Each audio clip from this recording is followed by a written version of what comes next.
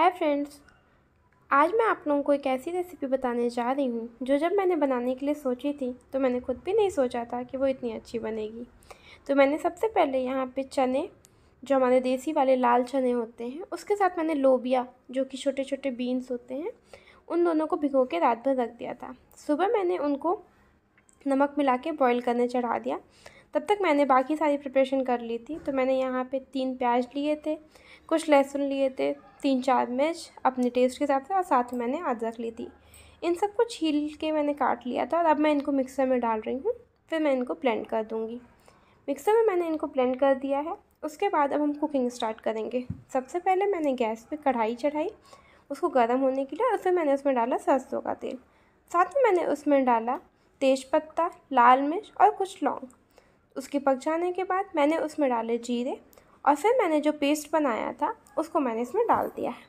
Paste को मैं इसमें डालने के बाद इसको पकने के लिए छोड़ दूँगी, क्योंकि इसको पकने के लिए अच्छे से कम से कम दस से पंद्रह मिनट लगते हैं। तो जब तक वो पक रहा है, तब तक मैंने टमाटर लिए, मैंने तीन टमाटर लिए यहाँ पे, उनको भी मैंने धो के कट कर लिया और अब मैं मिक्सर का यूज़ करके उनको ब्लेंड कर लूँगी। तो देखिए, हमारी यहाँ पे जो पेस्ट है, वो रेडी हो रहा था। तब तक मैंने उस पर डाला है एक चम्मच धनिया पाउडर एक चम्मच के लगभग हल्दी, एक चम्मच काली मिर्च और लाल मिर्च।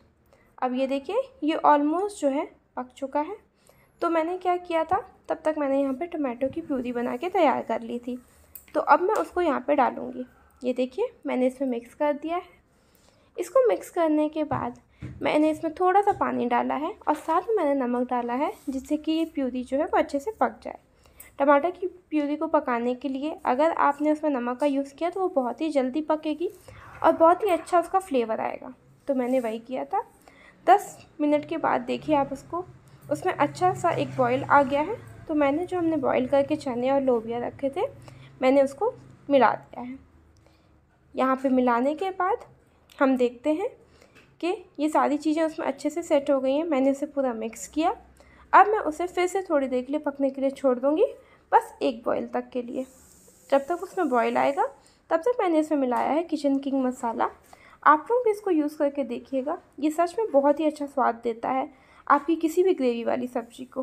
तो फ्रेंड्स ये देखिए, दस मिनट के बाद इसमें एक अच्छा बॉयल आ गया है और हमारी सब्ज़ी जो है, वो बन के रेडी है। अब आप इसको सर्व करें और जिससे भी आप पसंद करते हैं राइस या फिर रोटी या पूरी आप उसके साथ खा सकते हैं।